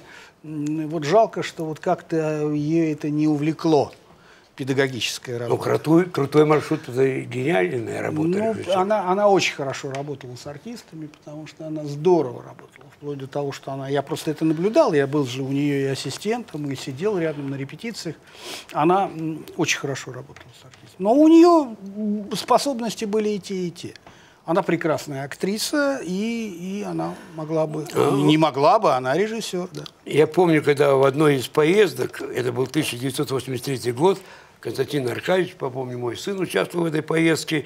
Э, И в это время рождалось, э, родился спектакль, когда Аркадий Сакович Райкин дал согласие пе- переехать в Москву, да, и первый спектакль с Костей Райкиным в твоей постановке, я соучастник этого, потому что я потом делал э, концертное обозрение в Октябрьском зале, «Лица», Ма- ма- Марина Голубь там участвовала, «Лица», да, ты пос- постановщик этого спектакля. «Лица», вот, можно сказать, первый спектакль Ра- Райкинского Цицерикона после переезда в Москву. Да, я помню, я был на репетиции, но рождалась, вот где мы с тобой были, в 83 году, и в Гаграх, по-моему, в Тбилиси. Я помню, что после концерта вы собирались с Костей, я сидел, слушал, вот ро- рождался лицо, твое отношение к этому спектаклю. Это все-таки не твоя группа крови, да? Лица, музыкальный спектакль, танцует. Это не твоя Но, но, но у тебя в твоей режиссуре новое слово Фокина в этом спектакле. Я почувствовал. Ну, э, я бы, если бы не Костя, я бы не согласился бы никогда это делать. Понятно. Мне, мне это так, не могу сказать, что мне это было так жутко интересно, но все-таки он попросил меня переехать, новый театр, папа тоже, новый спектакль. Хотел сделать спектакль, задача была какая? Сделать спектакль с молодыми артистами театра «Сатирикон». То есть как бы продемонстрировать Миша новую... Ширин, по-моему, Да, там был, новую смену этого театра, возможность, будущие перспективы. Ну, естественно, это должна была быть какое-то легкое какое-то действие, динамичное, музыкальное. Костя тогда был очень увлечен. Он прекрасно же танцевал, это, то-то, то-то. Ну, и мы сделали такой спектакль. Ну, ну я считаю, что это был, был спектакль, да.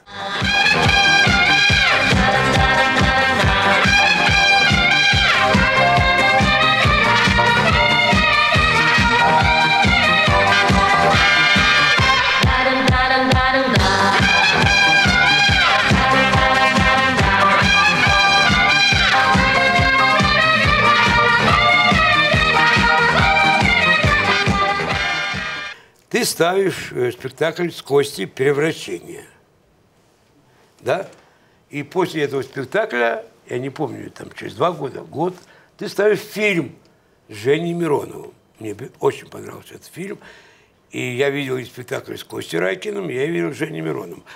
А у тебя почему возникла мысль снимать кино Женю Миронова, а не Костю Райкина, с которым ты работал в спектакле «Превращение»?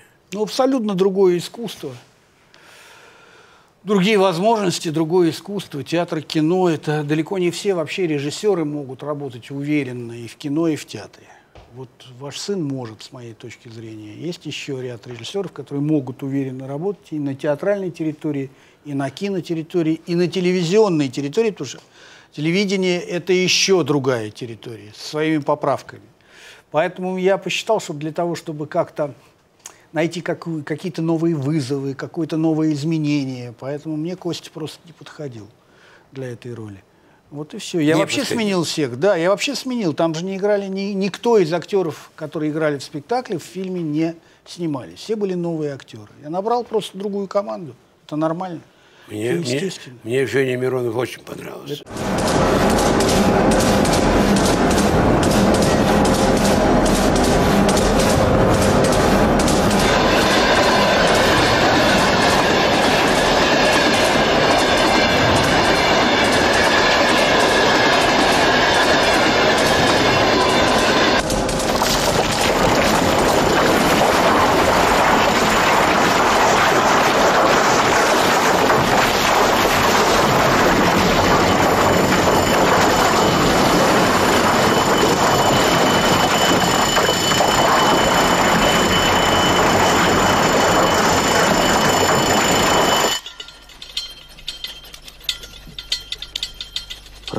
Проснувшись однажды утром, после беспокойного сна, Грегор Замза обнаружил, что он у себя в постели превратился в страшное насекомое.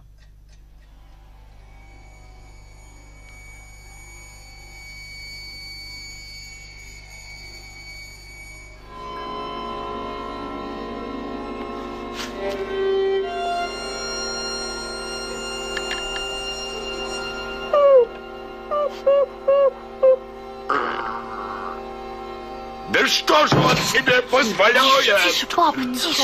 Нет, не тише.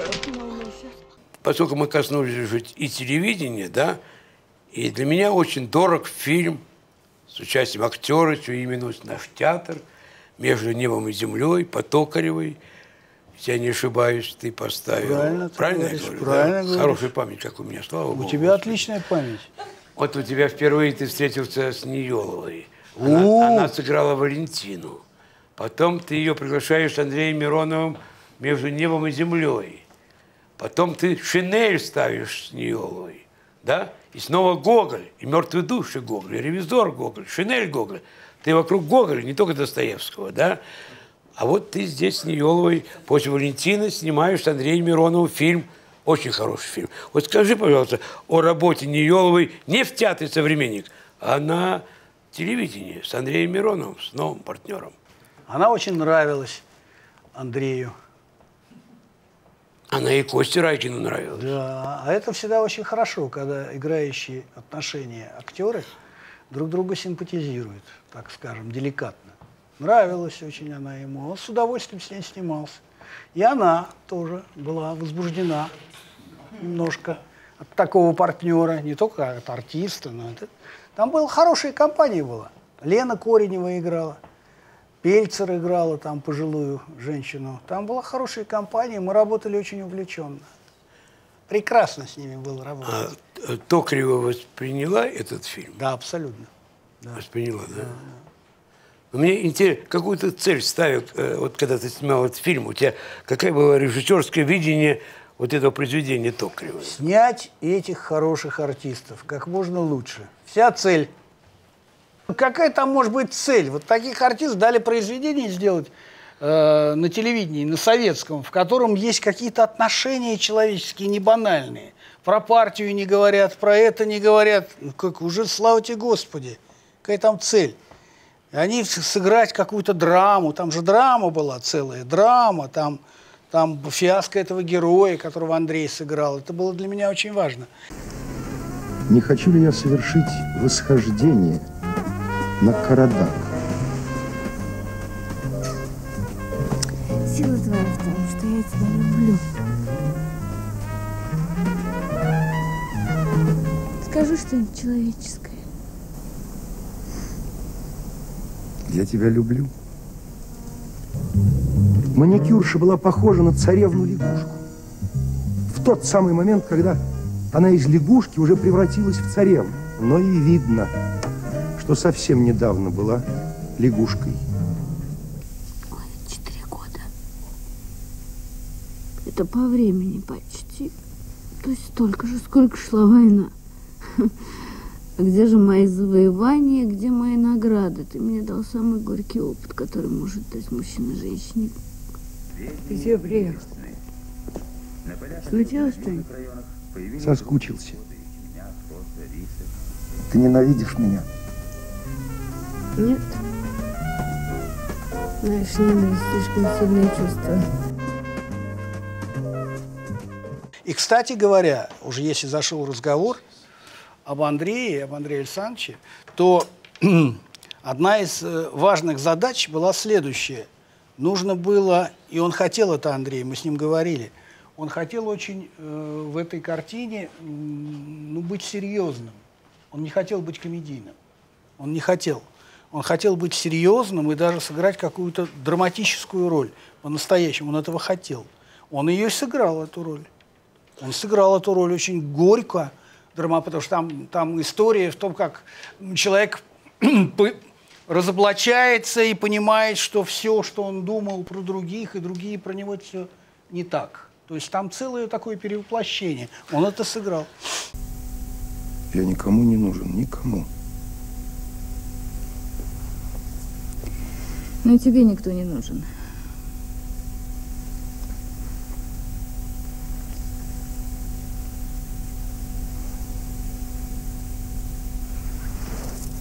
Но я пойду. Да. Прощай.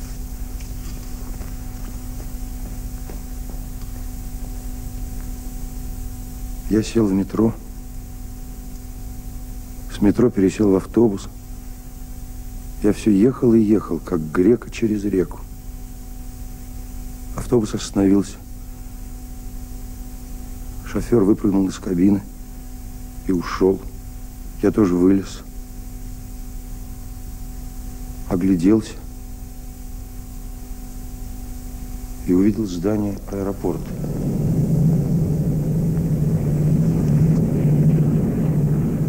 Зачем я сюда приехал? Может, боялся опоздать на свой рейс?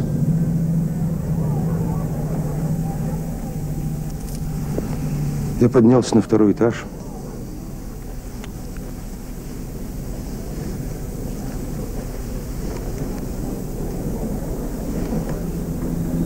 Сел в кресло.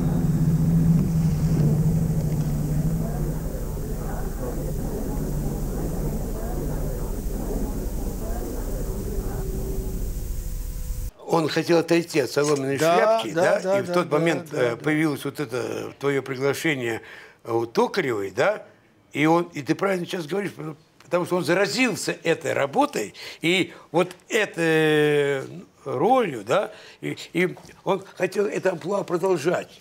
Поэтому уже после работы с тобой появилась фантазия Фарятьевой и Лапшин, прости, у Германа. Замечательный фильм, кстати.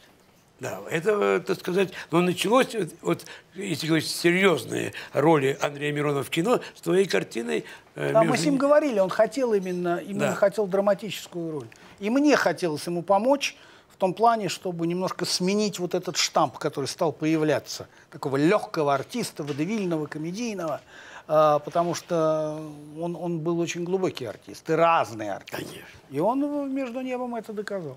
Вот скажи, пожалуйста, вот появление твое в семье э, Зиновия Ефимовича Герта, да, который обожал Мирхольда. И это э, м, дальше вот Захава, который ра- работал у, у Мирхольда, это э, сделало другого Фокина, да? Вот не было бы семьи Герта, не было бы Захава, был бы ты, ну, не в Щукинске, а в Щепкинске, предположим. Был другой совершенно Фокин, э, который не мог влюбиться в Ежи Гротовского. Я бы был бы главным режиссером Малого театра. Был бы, да. Тогда. Когда играла Быстрицкая, Нифонтова, Конечно. Соломин, Царев. Если бы я был в Щепкинском училище, я бы стал главным режиссером Малого театра. Ага. Я бы Вот. так с тобой сейчас не разговаривал. Меня была бы бабочка. Нет, а Соломин здесь у меня сидел, он на этом месте так разговаривал без бабочки. Да? Да. Странно. Это нарушение традиций Малого театра. Мы же с тобой были в кабинете у Соломина, помнишь, года три назад? Были. Он так как-то так не чувствуете этих старух, я не почувствовал тогда. Вот жалко, что не чувствуется. Вот это надо чувствовать.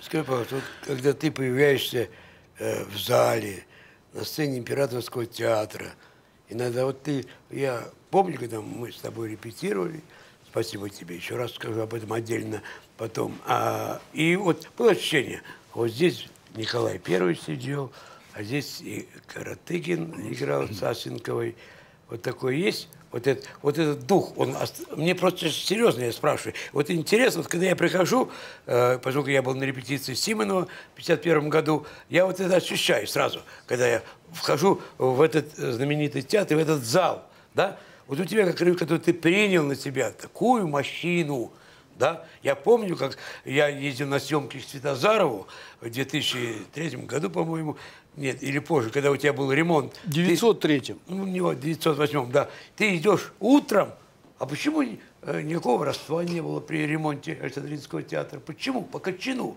ВДТ до сих пор там не могут найти, что там сделали, и в другом театре. А здесь в Александринке все восстановили. Почему? Да потому что в 8 утра я видел, как Фокин, как менеджер, не как худрук театра, как менеджер, у которого сердце болело, входил и смотрел ног до- вот так, туда и сюда, что делают э, э, э, эти э, рабочие, эти рабочие электрики, все как, как. Это здесь, здесь висело, боже ты мой, вот почему, вот по Кочану. И по бублику. Да, понимаете? Так вот, я сейчас хочу тебя спросить, вот ощущение есть? Да. Есть. Вот, и- Да, вот так. Вот я репетирую, тут Евтищий Карпов репетировал Да что ты привязался к Карпову-то? Карпов вот такую бороду носил до пояса. Да, да. Народоволец, елки-палки, Да, нет, ну вот- вот есть, то есть... Ты, его, ты к нему привязался, потому что он был любовником комиссаржевской? Ты ревнуешь, что ли? Да нет, нет, нет. Ну ты так, Карпов, Карпов, что ты? Я, я хочу спросить, вот ощущение есть вот этого давления, да? Вот давление... Нет, давления нет у Нету. меня никакого ощущения. У меня есть, наоборот, внутренняя какая-то радость от того, что какое огромное количество великих людей были в этом здании и в этом театре. Вот это радость, неформулируемая. То, что я специальный дура, ой, какая радость. Тут этот был, тут этот был. Но внутреннее ощущение есть. Я когда ведь попал в этот театр в 2002 году, когда мы репетировали «Ревизора», я, я, ну, театр был в убитом состоянии там, но дело не в этом, но все равно дух-то его был. Я помню, сидел в царском фойе, так во время перерывов на диванчике, и мне так нравилось там сидеть, вот на этом диванчике. И э, директор, который ушел уже, Георгий Александрович Сащин, он так вбегал, говорит, что вы тут сидите, пойдемте ко мне в кабинет. «Да Что же вы тут сидите? Я говорю, да не, не, нормально, нормально. Вот мне там нравилось, потому что этот театр не всех принимает. Он не всех принимает. Ну, Валерочка, как не принять стенам Александринского театра, которые видели таких актеров, и они, эти стены, приняли тебя, потому что ты и в театре, и в кино, и на телевидении всю жизнь работал с выдающимися современными актерами, с великими современными актерами. Как не принять?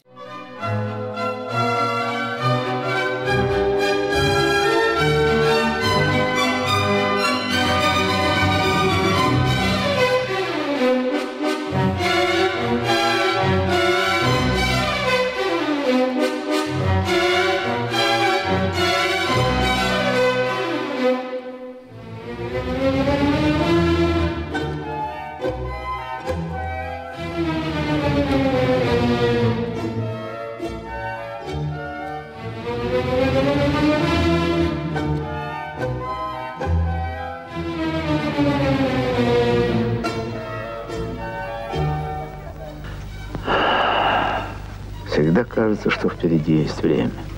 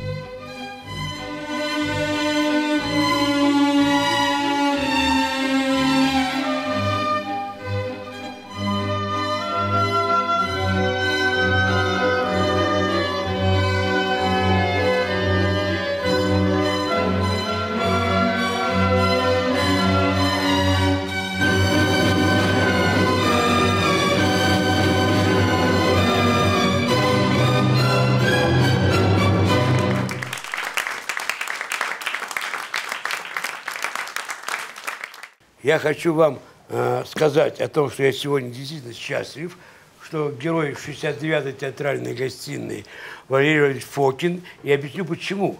Когда э, мы в 1995 году получили это помещение, где расположился театр имени Андрея Миронова, благодаря Анатолию Александровичу Собчака. И э, как только мы открылись, то в течение э, там, трех месяцев я создал эту театральную гостиную, которая имеет девичье название «Артистический клуб «Антре». И он был показан в эфире на 36-м канале. Две гостиные прошли. Первая гостиная была э, актеры. Э, после спектакля «Последняя ночь э, последнего царя» на сцене ДК Горького приехали к нам в театр, вот э, в театральную трапезу Валерий Владимирович, Женя Миронов, Михаил Ульянов, Купченко, которые играли в этом спектакле. Мы пригласили тогдашнего губернатора Яковлева Владимира Анатольевича. Игорь Дмитриев был, Толубеев. То есть мне удалось создать первую театральную гостиную после тех гостиных Михаила Анжарова, которые были в Москве. Да? И вот первым был Фокин. И дальше участие Валерия Фокина во всех видах театральной гостиной, церемониях премии «Фигаро» Молчите, молчите, прошу, не надо слов. Поверьте, бродяги и поэту, на свете есть город моих счастливых снов, не говорите, что его нету. Он знойный, он стройный, он жгучий брюнет. Там солнце и музыка повсюду. Там все есть для счастья, меня там только нет, так это значит, что я там буду. О, Рио, Рио, рокот прилива, шум прибоя южный размах. О, Рио, Рио, сколько порыва, сколько зноя в черных очах. О, Рио, Рио, о, Рио, Рио, о, Рио де Жанейро, о, Рио, Рио, о, мама мия, потерпи, я прибуду на днях. И мне было очень радостно и приятно, когда Валерий Владимирович Фокин предложил 60-ю театральную гостиную в честь моего 80-летия 23 октября 2018 года создать на сцене Великого Александринского театра. И даже дал возможность пять минут быть в образе Ивана Христакова. Я ведь когда-то хотел, между прочим, с ним ревизора сделать. Потому что вот эта противоречивость, вот это вот есть в Хлестакове такой, такой фантом. Все, да? это Вот. интересная идея. Несут его даже. Ну, слава богу. Сэм, так, не ходи дальше. Да.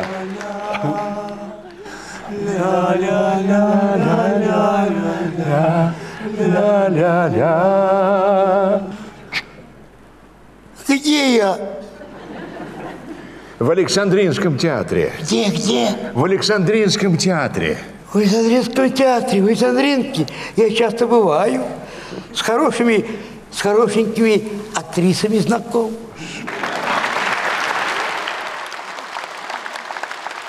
Очень познавательно мне было. Очень интересно и очень познавательно. Жить надо дальше.